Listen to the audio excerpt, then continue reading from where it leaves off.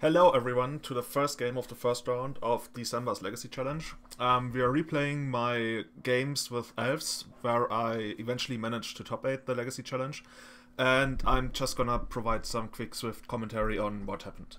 So in this first round we are up against uh, Grixis Delver, I believe, and let me see how this works. I think if I let it play out by all by itself it's too quick. Um, so yeah, we're keeping this hand. The hand looks pretty good, and I'm leading with Nettle Sentinel, I would think.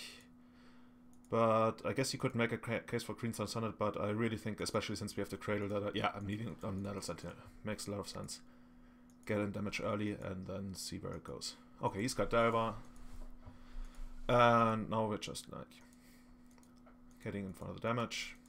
I really hope you guys can't hear my mouse clicking, otherwise this would be super annoying for you.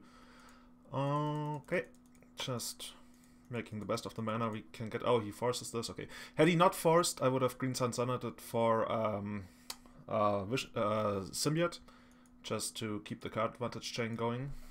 But he's got the force, unfortunately, and he pitches probe. So he he was wise enough to not like. See, if I see him pitch probe, I think that he's very like light on blue cards, so he might not have Daze. Even though like that's not a given, but it probably doesn't really matter here and doesn't really come up, but there's a chance. He he might have actually dazed in the Sentinel, yeah. Actually, yeah, he would have he would have dazed Division. Okay, so don't get caught up in this. Like, anyway, this is just like for you to see how all these matches played out. Uh, if I had to do some like analysis, that would probably be during the live game. So yeah, this is just another good draw. Like right now, we're even racing Delver, since the opponent didn't have a second land. Like I think we could even like get away with just attacking every turn. But we've got it even better. We get a visionary. So next turn we are ready to hardcast Behemoth and make the second force of will check, what I call like does he have the force of will or does he not?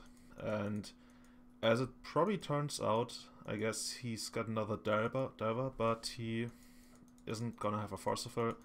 And we just take the game. He's got the lightning bolt for one of our creatures, but it doesn't really matter. And then, yeah. He takes 10. He gets one more draw step, but I think there's nothing in his main deck that could actually like help him here. And it's pretty much over. okay, just for fun and giggles, we have a second. Actually, he could survive if he blocked with the Delver if he didn't have the second Craterhoof. And yeah, but even then... Yeah. Would it have mattered, let's say, Delver blocks Craterhoof, Stormchaser blocks a creature, he goes to 1, Stormchaser survives, and then he's gotta deal 10 damage to us next turn, so he's got 4 guaranteed, so if he's got double Lightning Bolt, then he could do it, but yeah. I felt this game was, like, not very close.